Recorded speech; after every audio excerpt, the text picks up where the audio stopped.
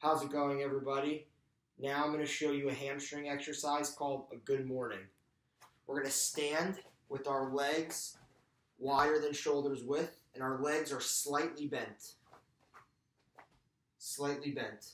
I like to put my hands over my head because usually you have weight on your shoulders and you are folding at the hips, digging into your hamstrings.